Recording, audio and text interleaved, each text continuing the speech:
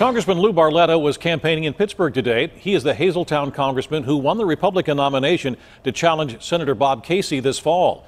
Political editor Jon Delano sat down with Barletta just a short time ago.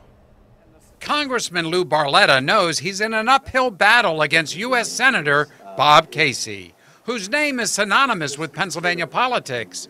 But Barletta says Casey is not the man he used to be. He doesn't represent the people of Pennsylvania any longer. He did when he was first elected, uh, but he has moved so far left that his voting record now is the same as Elizabeth Warren's. That's the senator from Massachusetts. He no longer represents the people here, he represents liberal California, liberal Massachusetts. He was a moderate.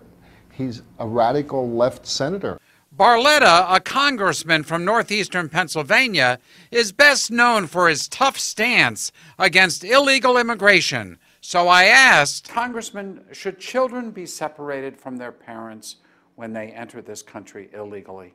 That's the policy of the Trump administration, which says it's only enforcing a law that President Obama refused to enforce.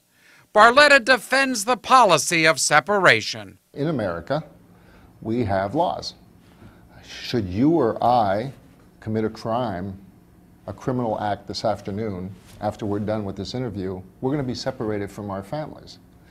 So the laws of the country state that when you, when you commit a criminal offense, children, you will be separated during the custody. So I don't think we should have separate laws for people who come in the country illegally and other laws for American citizens. Barletta says separating the children acts as a deterrent to illegal immigrants, and he wouldn't change it. Well, remember, why people come to the country illegally is because we're not enforcing the laws. So if people knew when they came here what would, what would happen, we wouldn't have this situation. How big an issue this will be come November remains to be seen. Jon Delano, KDKA TV News.